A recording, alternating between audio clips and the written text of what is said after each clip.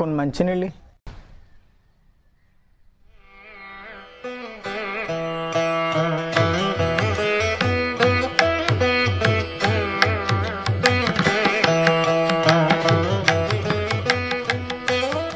అమ్మ నేను వెళ్తున్నాను అన్ని శాస్త్రవేత్త గారు మనం వంకతోట పరిశీలించినాక తీసుకొస్తానన్నారు. నేను అక్కడ ఉంటాను. నువ్వు వస్తే అక్కడికి వచ్చామని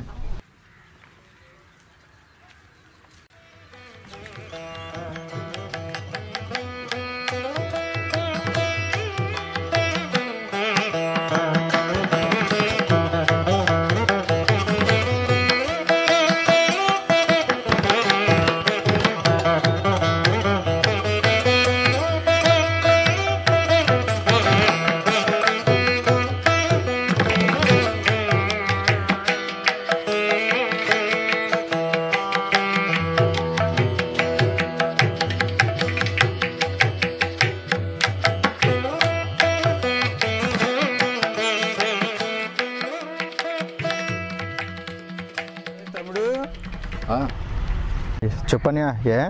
ఏం లేదురా తమ్ముడు. మన వంగదోటలో కాయ కొమ్మ తులసి పురుగు ఉంది కదా దీని నివారణ మనకి ఏం చేయాలో తెలియట్లేదు కదా. దీని విషయమే తెలుసుకోవడం కొరకు ఎరవాక నుండి శాస్త్రవేత్త గారిని తీసుకుని వచ్చాను. వారు మనకు కొన్ని సూచనలు తెలియపరుస్తారు. నమస్తే సార్. సార్ ఈ కాయ దుల్చి పురుగు గురించి మాకు తెలియపరచండి కొంత. ఈ వంగలో ప్రధానంగా మనకి ఈ కాయ తొలిచే పురుగు ఎక్కువగా ఆశిస్తుంది. కాబట్టి దీనిని నివారించుకోవాలంటే ముందుగా మనం జీవిత చక్రం గురించి తెలుసుకుంటే మనం ఈ పురుగును సులభంగా నివారించుకోవచ్చు. అయితే ఈ పురుగు జీవిత చక్రం గురించి మీకు వివరిస్తాను. రండి.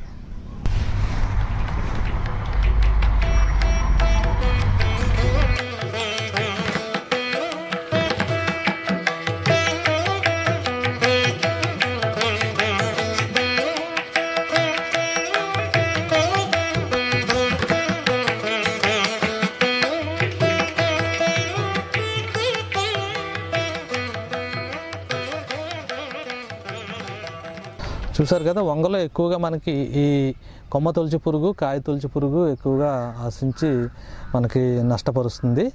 కాబట్టి దీనిని మనం సమర్థవంతంగా నివారించుకోవాలంటే ఈ పురుగు యొక్క వివిధ జీవిత దశల్ని అది ఏ దశలో అయితే మనకి ఎక్కువగా నష్టపరుస్తుందో తెలుసుకుంటే ఈ పురుగుని మనం సులభంగా నివారించుకోవచ్చు. అయితే ఈ పురుగు దశల గురించి చెప్పండి సార్. ఈ పురుగు మనకి పంట వేసిన తర్వాత ప్రధానంగా ఆశిస్తూ ఉంటుంది. తొలి దశలో అయితే ఈ పురుగు లేత ఆకుల్ని అలాగే లేత కాండాలని తొలుచుకొని లోపలికి ప్రవేశించడం వల్ల ఈ తల కిందకి వంగిపోయినట్టు ఉంటుంది దీన్నే మనం తలమాడు తెగులు అని కూడా మీ రైతులు అంటూ ఉంటారు.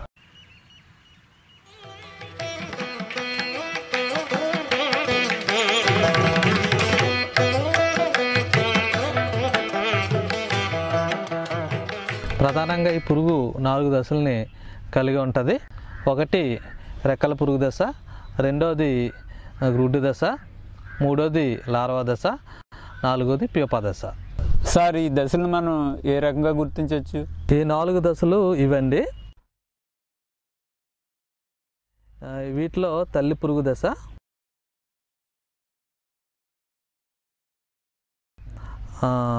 గుడ్డు దశ లార్వా దశ ప్యూపా దశ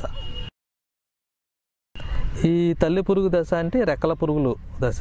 ఈ రెక్కల పురుగుల్ని మనం ఉదయం పూట మన పంట మీద ఎగురుతూ కనిపిస్తూ ఉంటాయి. ఈ రెక్కల పురుగుల మీద గోధుమ రంగు అలాగే నలుపుతో కూడిన మచ్చలు ఉంటాయి. ఈ మచ్చలను బట్టి మనం ఈ పురుగు తల్లి పురుగుని మనం సులభంగా గుర్తించవచ్చు. ఈ తల్లి పురుగులు ఆడ మగ కలుసుకున్న తర్వాత అవి గుడ్లు పెడతాయి. ఒక్కో ఆడ రెక్కల పురుగు వచ్చేసి రెండు వందల యాభై వరకు గుడ్లు పెడతాయి. ఈ రెండు వందల యాభై ఈ గుడ్లు ఎక్కడ పెడతాయంటే ముఖ్యంగా మనకి లేత కాండం మీద లేత పువ్వుల మీద లేత ఆకుల మీద ఈ గుడ్లు పెడతా ఉంటాయి. ఈ గుడ్లు ఎలా ఉంటాయి? ఈ గుడ్లు మనకి బల్లపరుపుగా తెల్లగా మనకి వలయాకారంలో ఉంటాయి. ఈ గుడ్లు మూడు నుంచి ఐదు రోజుల్లో పొదగబడి వీటి నుంచి సన్నని లార్వాలు బయటకు వస్తాయి ఈ లార్వాలు మొదట వచ్చిన తర్వాత ఈ లేత కాండాన్ని తొలుచుకుని లోపలికి ప్రవేశిస్తాయి. అలాగే లేత ఆకులు పెద్ద ఆకులు ఈ ఈనుల్లో కూడా ప్రవేశించి అవి నష్టం కలగజేస్తూ ఉంటాయి. ఈ లార్వా దశ మనకు సుమారు పన్నెండు నుంచి పదిహేను రోజుల వరకు ఉంటుంది. అంటే ఈ దశలోనే ఎక్కువగా మనకి లార్వా నష్టం కలగజేస్తుంది. ఈ గుడ్డు నుంచి బయటకు వచ్చినప్పుడు ఈ సన్నటి లార్వాలు మనకి ఈ లేత కాండంలోనికి చచ్చుకొని పోయి ఆ లోపలి పదార్థాన్ని అంతా తినేసి అవి విసర్జించడం వల్ల మనకి ఈ భూమి నుంచి పోషకాలు పైకి మొక్కకి అందకు కాబట్టి మనకి ఆ దశలో ఈ ఈ లేత కాండాలు మనకి తినేయడం వల్ల కాండం కిందకి ఒరిగిపోతుంది. దీన్నే మనం తలమాడు అని కూడా పిలుస్తూ ఉంటాం. ఈ లార్వా దశలో పన్నెండు నుంచి పదిహేను రోజుల తర్వాత ఇది నెమ్మదిగా ఆ, చెట్టు నుంచి కిందకి దిగి చెట్టు మొదల్లో ఉన్న మట్టిలో కానీ ఈ ఆకుల చెత్తలో కానీ ఇది ఈ లార్వా నుంచి ఒక రకమైన దాని నోటి నుంచి దారం లాంటి జిగురు పదార్థంతో పడవ లాంటి ఆకారంలో ఒక కకూన్ని తయారు చేసుకుని దాంట్లోకి ప్యూపాదశలోకి వెళ్ళిపోతుంది అనమాట ఈ ప్యూపాదశ మనకి పడవ ఆకారంలో ఉంటుంది.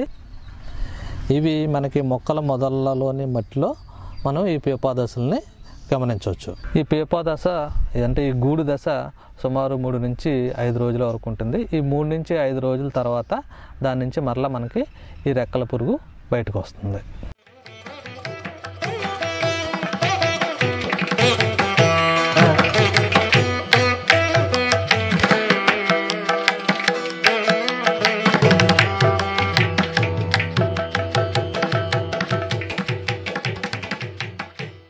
సార్ మా పంటను మీరు గమనించారు కదా? పంటలో ఈ పురుగు ఏ దశలో ఉంది సార్? మీ పంటలో మనం కొమ్మ పుచ్చు అదేవిధంగా కాయపుచ్చు కూడా మనం గమనించడం జరిగింది.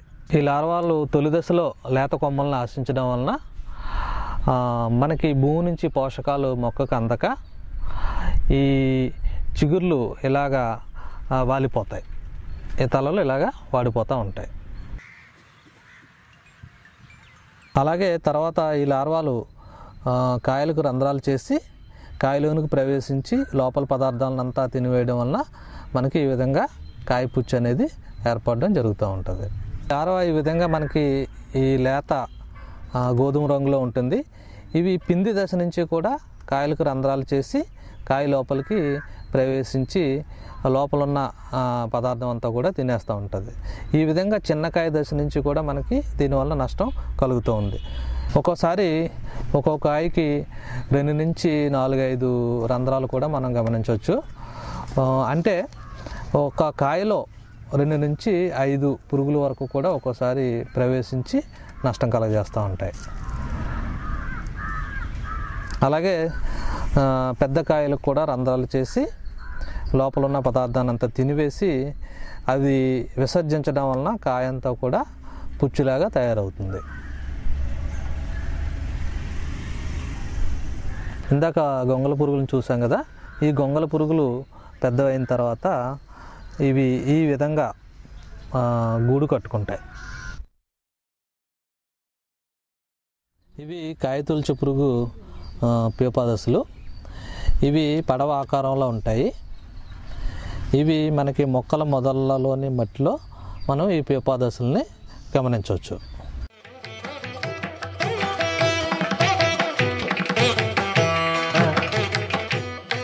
సారీ కాయ తొలిచి పురుగు కాండం తొలిచి పురుగుని మనం ఏ రకంగా నివారించుకోవచ్చు? మరి ఈ కాండం కాయ తొలిచే పురుగులను మనం కొన్ని రకాల యాజమాన్య పద్ధతులను ఆచరించి సమర్థవంతంగా నివారించుకోవచ్చు. అందులో మొదటగా ముఖ్యంగా మనం ప్రతి పంట కూడా వంగ పంటనే ఎంచుకోకుండా వేరే పంటను ఎంచుకోవడం ద్వారా ఈ పురుగును మనం చాలా వరకు నివారించుకోవచ్చు. తర్వాత ఏంటంటే ఈ పురుగు లేత దశలో అంటే ఈ కొమ్మ పుచ్చు దశలో మనం ఈ చిగుర్లు తుంచడం ద్వారా ఈ పురుగును మనం సమర్థవంతంగా నివారించుకోవచ్చు. తర్వాత ఈ పురుగు మనం ఉధృతి తెలుసుకోవడానికి అలాగే ఈ పురుగును నివారించుకోవడానికి మనం పంటలో ఎకరానికి ఒక ఎనిమిది వరకు లింగాకర్షణ పుట్టకలు పెట్టుకోవడం ద్వారా మనం ఈ పురుగును సమర్థవంతంగా నివారించుకోవచ్చు. తర్వాత ఈ పురుగు నివారణకు ఈ పురుగు ఏవైతే కాయల్లో ఎక్కువగా కాయ పుచ్చు ఎక్కువగా గమనించామో ఆ కాయలన్నీ కూడా మనం వేరేసి పంటకు దూరంగా తీసుకెళ్ళి నాశనం చేయటం ద్వారా కూడా ఈ పురుగు మనం సమర్థవంతంగా నివారించవచ్చును.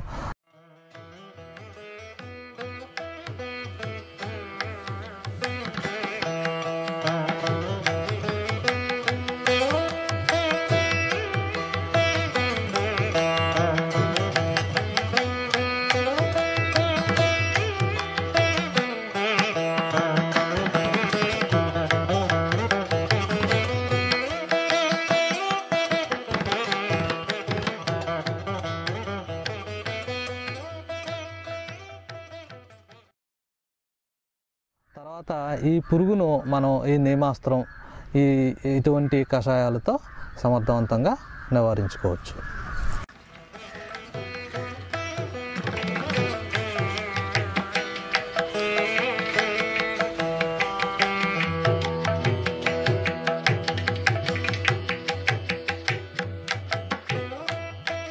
రైతులందరూ కూడా ఈ వంగలో ఎక్కువగా ఆశించి నష్టపరిచే ఈ కాయతొలుచు పురుగు జీవిత చరిత్ర గురించి తెలుసుకున్నట్లయితే అది ఏ విధంగా నివారించుకోవాలో సులభంగా అర్థం చేసుకుని ఈ పురుగును ఈ కాయపుచ్చు పురుగును సమర్థవంతంగా నివారించుకోవచ్చు. కాయ తొలిసే పురుగుని గురించి పురుగు యొక్క జీవిత చక్రం గురించి అలాగే ఈ యొక్క పుచ్చిని ఎలాగ నివారణ చేసుకోవాలో ఇంతవరకు మాకు తెలియపరిచినందుకు మీకు ధన్యవాదాలండి. నమస్కారం.